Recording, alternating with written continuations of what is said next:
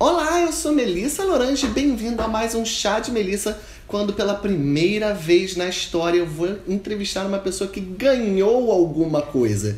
E não alguma coisa, algumas coisas. Com vocês, a rainha da Cinelândia em exercício, Miranda Lebrão. Ah!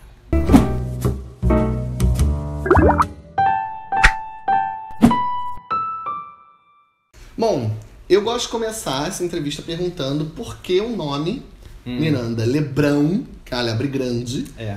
e qual o seu problema mental pra fazer drag. Vamos começar pelo nome então. Miranda veio por conta da Gretchen. Foi real por conta da Gretchen. Tô muito feliz com essa informação. Sem brincadeira. Tô contemplada. Foi Hashtag da- contemplada. Da Gretchen. E eu já tava me montando há um tempo sem nome. E aí precisava de um nome, porque as Sim. pessoas precisam de um nome aparentemente.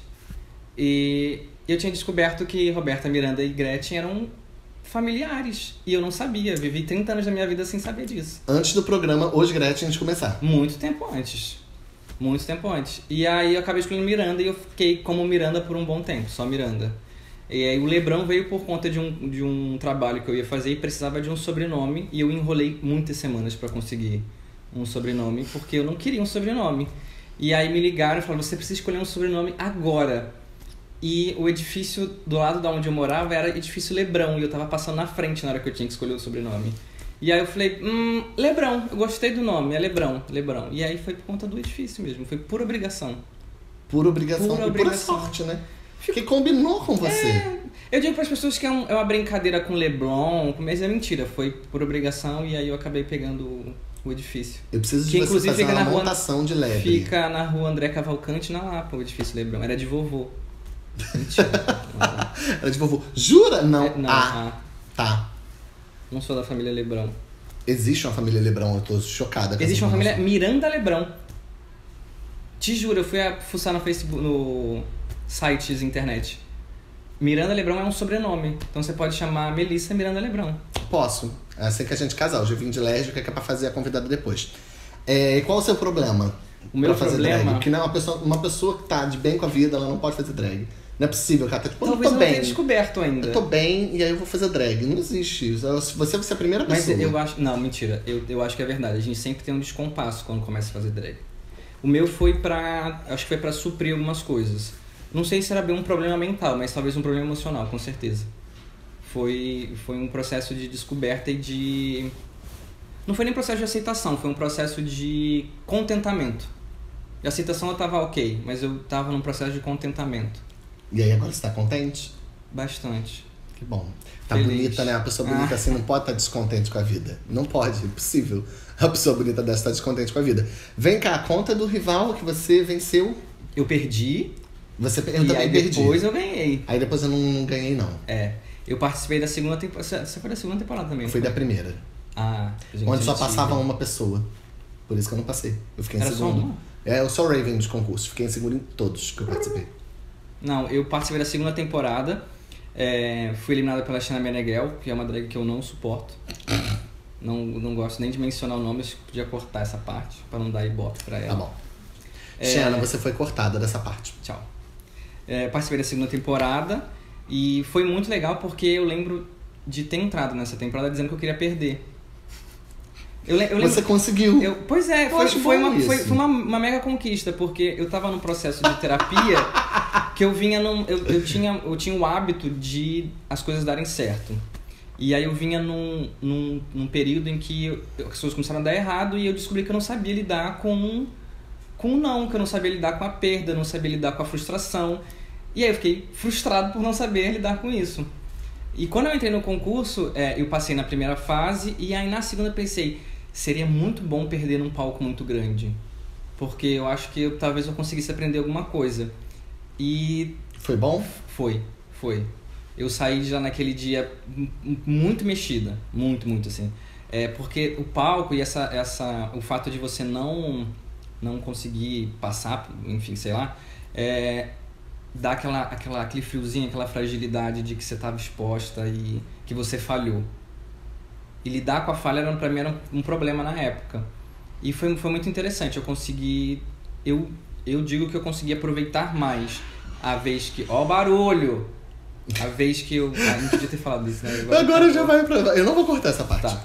É. Eu aproveitei mais é, quando eu perdi do que quando eu ganhei. Hoje em dia você não precisa mais se preocupar com isso, você ganha tudo, né? Não, ontem você perdeu. É Ontem disseram que eu não me esforcei. Ah, tá. É porque assim, quando você é boa, você não pode mais perder. Você Nunca mais, não é, se esforça. É. você perdeu de sacanagem. Que absurdo. Não, foi, foi me disseram que eu não tinha me esforçado. Estavam mentindo? Não sei. Mas, assim, tem dias. Mas eu aproveitei mais é, nesse sentido de construção drag quando eu perdi do que quando eu ganhei. É, Mas ganhar foi ótimo também, né? É bom, mas assim, termina, termina quando Acabou. acaba. Mas Naquele- você tem um reinado, você tem um nome pra botar aí. Mas o, o progresso que a gente faz na- no concurso, ele acaba quando acaba. Sim, justo. Pra todo mundo. Quem perdeu e quem ganhou, ele acaba naquele momento. O percurso que a gente vai de criação, de entrega, de, de, de. da correria mesmo, de ter que preparar as coisas, ele acaba quando acaba. Então quem ganhou, quem perdeu, quando fechou a cortina, a gente estava de novo todo mundo no zero. Todo mundo no zero. É. Faz bastante. Gente, a filosofia, eu são pessoas aqui É. que elas, elas fazem terapia, então elas trazem coisas pra acrescentar na entrevista, entendeu? Porque elas fazem terapia, não são que nem eu, que tenho meus problemas Eu e faço. continuo carregando pra sempre, porque eu, inclusive, não tenho dinheiro pra pagar terapia. Me explica o Milkshake Festival, o que que é, Ah. explica pras pessoas o que é, Sim. como foi e o que que você ganhou. E muitas perguntas, espera. O Mi- o Milkshake é um festival holandês é, de música e ele tá no Brasil há dois anos, então esse ano foi a segunda edição. E é um festival enorme, assim, ele é, tinha três palcos gigantescos, tinha Glória Groove, Pablo Vittar, é, As Baianas e a Cozinha Mineira, só gente foda E você? Eu tava num palco um pouco menor, mas o camarim era do lado, então assim, é, eu Você roubei, eu a bebida do camarim delas, é isso, basicamente isso. Isso é Foi- foi muito isso. mais importante do Foi que isso. qualquer outra Uhum. coisa. E, e eles fizeram uma drag con esse ano. Então eles montaram uma exposição é, em parceria com a Natura. Fizeram uma exposição linda. Fizeram uma, eles construíram uma linha do tempo drag e aí contaram através de algumas imagens essa, essa linha do tempo. Foi estava muito bonito, muito bem produzida. E teve o concurso é, Milkshake Brasil, que eles abriram inscrição. Eu me inscrevi por causa da Xana Meneghel, corta o nome dessa, dessa garota. É, e aí era uma votação do público e aí eles escolheram, aí as cinco mais votadas foram para São Paulo para poder participar da DragCon. E com participação a gente fazia uma performance, uma performance, uma performance, A performance. um show, fazia um show. é, e nesse show a gente tinha os jurados de drags brasileiras que escolhiam é, uma vencedora do concurso Milkshake Brasil. Eu fiquei muito feliz de, de ter ido, porque como foi o voto do público, é, eu estava trabalhando no final de semana que abriu a votação, era um dia só, um dia, dois dias de votação. É, eu só fiz uma divulgação rápida nas redes e eu acabei indo porque a- o pessoal acabou votando mesmo, assim, eu não tive tempo de, de ficar divulgando ou pedindo para as pessoas votarem. E Eu tenho uma coisa muito dizer. Eu bom. tava em São Paulo no ato das, das votações. Eu tava na oficina da Malona. E as pessoas ficaram enlouquecidas no seu vídeo, contando moedinha pra comprar o latão. Uma Antártica latão. E no vídeo da Xena, com o queijo coalho, não é isso? É. Eles É, ficaram, não, era um- era um, um espetinho. Era um queijo coalho e um biscoito. Como é que chama? Globo, um biju. Tava todo mundo na oficina da Malona. Espero que ninguém se importe eu estar contando isso. Enlouquecidas em vocês, assim, tipo, eu tenho que votar nessa pessoa do espetinho, dessa pessoa das moedinhas pra comprar a Antártica, que não sei o que. Tem um apelo aí. Tem, tem, tem. A gente fez o vídeo pensa mentira. É, esse vídeo, inclusive, é o projeto do Aquelas Gazelas. Daquelas gazelas. que ia sou eu. Xena, Coquendra e Rura. A gente decidiu é, montar pequenas histórias em, em espaços é, públicos ou em espaços que geralmente não são ocupados por drag queens aqui no Rio de Janeiro Uhum. e gravar essas historinhas, esses clipes, né? É, e esse da Feira de São Cristóvão foi o nosso primeiro vídeo, da onde saiu. Eu, Que eu vou deixar link em algum lugar aqui até o final. a gente. Que é, eu amo, eu amo esse vídeo, ele é muito lindo. Tem a Coquendra fazendo a, a canibal, a Uhura, é, a Uhura sendo Uhura. A Coquendra sendo a Coquendra, a Augura sendo É. O público votou, muito obrigado. E Beijo público. Beijo, público. Pessoas- Vem me assistir também. pessoas, as pessoas, a internet existe enquanto pessoas, isso é interessante. Existem pessoas por trás disso. Fui pra São Paulo, chegamos no, no festival e tava muito, muito bem produzido. E lotado. Tava cheio. Tava... O espaço era muito grande, então eu tive a sensação de que tava vazio. Mas depois que do palco a gente foi tendo a noção é, de como as pessoas estavam se agregando nos palcos Uhum. e tava, tava bem cheio. Bem cheio. E tava muito bem produzido e tinha muita POC maravilhosa e eu tava amando aquilo. É, tinha, sério assim, tinha, tinha muita bicha dando muito close. Eu tava com um pouco de pressa aquele dia, eu acho que tava um pouco ansiosa na verdade. E eu fiquei me senti- me sentindo muito acarinhada, porque tava tudo muito bem produzido. É, as meninas, as cinco meninas que estavam é, para se apresentar com seus acompanhantes, todo mundo num clima muito.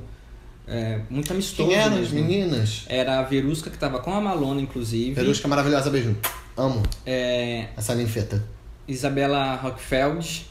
Eu não vou lembrar o nome de todo mundo. Isabela do Sul. Do Sul. Beijo, que Isabela, é, mãe. ela é maravilhosa. Ela é maravilhosa, eu já vi show não- dela fazendo ela. Lady não, Gaga, Ela é maravilhosa enquanto incrível. pessoa, assim. Ah, eu não, pessoa eu não Ela, conheço. ela tava chorando no canto. Ah. E aí eu fiquei assim, tipo, gente, e ninguém tava perto dela. Aí eu fui me chegando assim, aí eu, tá tudo bem. E ela tava emocionada. Ai, que fofo. ela tava, tipo, só emocionada. Oh.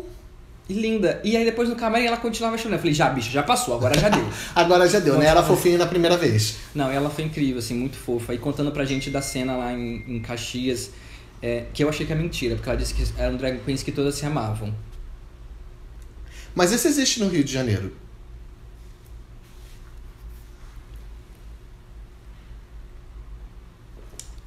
É. E. E mais umas bichas lá, que É. não importa. né? É Não, vocês. As meninas estavam lá todas e eu tinha feito uma aposta para esse, pra esse festival. Eu tinha é, desenhado uma performance um- umas duas semanas antes e escrevi ela, montei, escolhi a música, desenhei o figurino e eu não sabia onde ia fazer. E aí quando chegou o convite do Milkshake, eu só conseguia pensar em fazer essa performance. Só que era uma música lenta para um festival de pop. Assim, majoritari- majoritariamente de pop. Uhum. E aí eu fiquei pensando, isso pode dar muito certo ou isso pode dar muito errado. É, E você faz apostas. e eu faço apostas. Pensei, não tem nada o que perder. Tava em jogo aqui, uma viagem pra Holanda com acompanhante, um título de Rainha Brasil, coisa pouca, assim. Coisa, que você pode conseguir por Coisa mérito que eu próprio. pensei, ah, não vai fazer falta na carreira da pessoa. E eu fiz, eu fiz essa aposta, eu fiz, uma, eu fiz Believe da Cher, uma versão bem lenta de piano.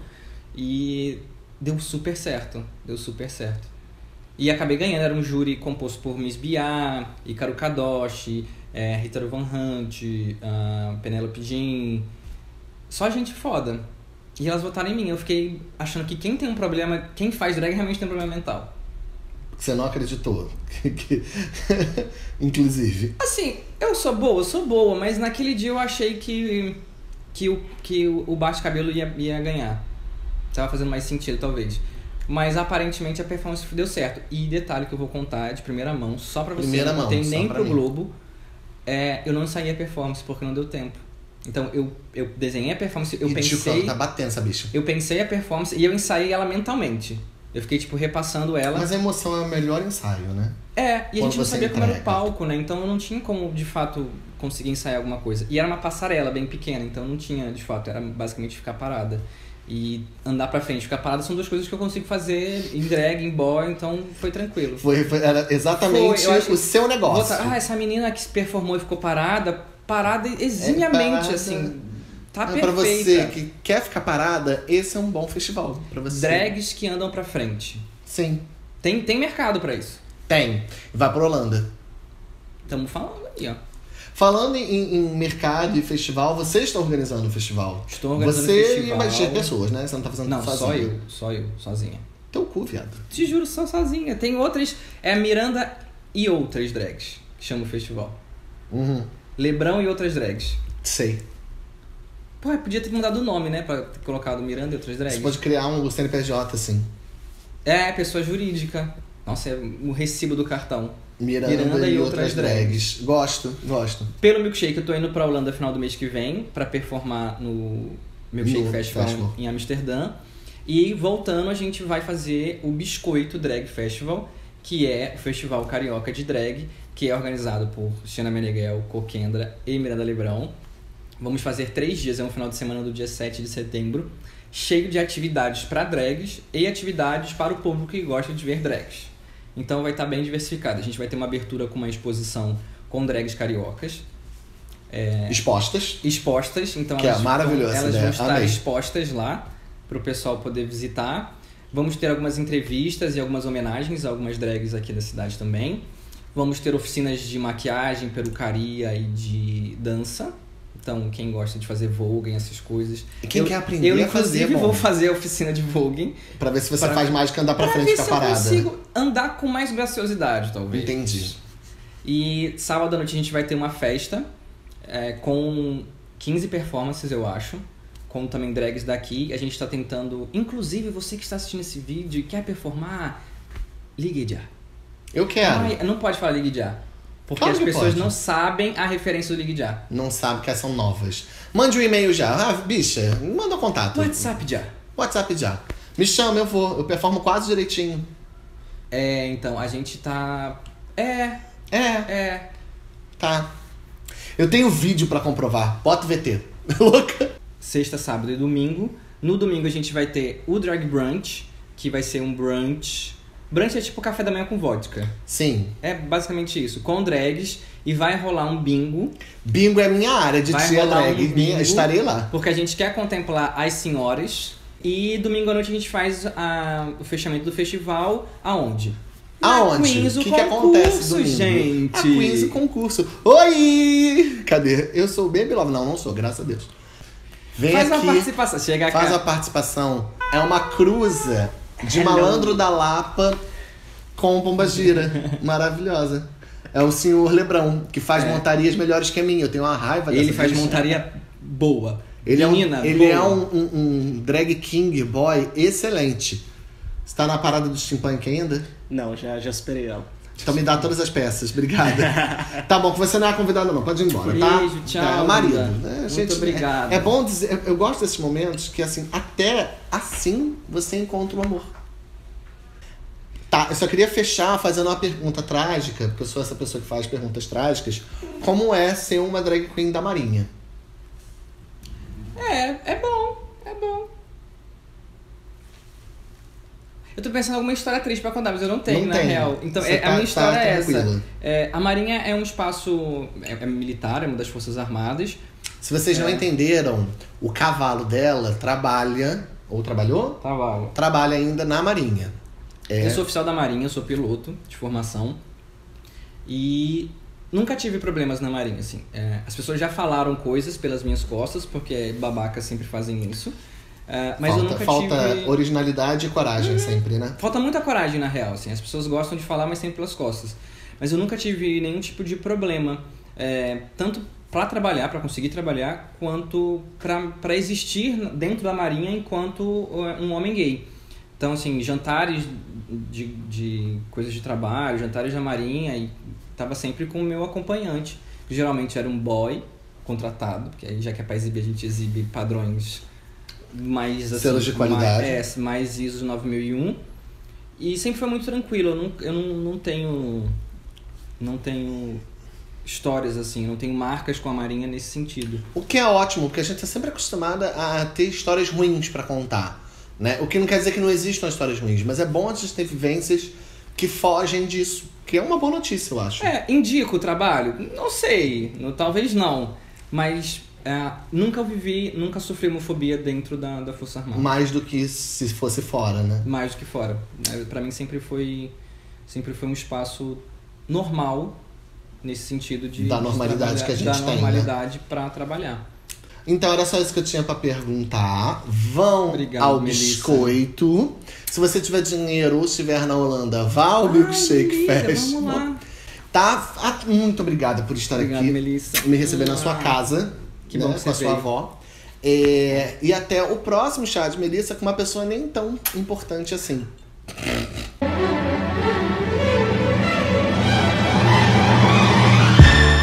Olha, gente, a quiche que a, que a demônia fez. Ponto, o pós-crédito é a Kishi. Ó, isso é a quiche que eu vou comer agora. Então, se você vai ser convidada do chá de Melissa no futuro, esse é o parâmetro que você tem, tá? Que fazer. A Kish, na verdade, foi a vencedora do, do concurso. Eu Do tô aqui só concurso, pra né? carregar ela.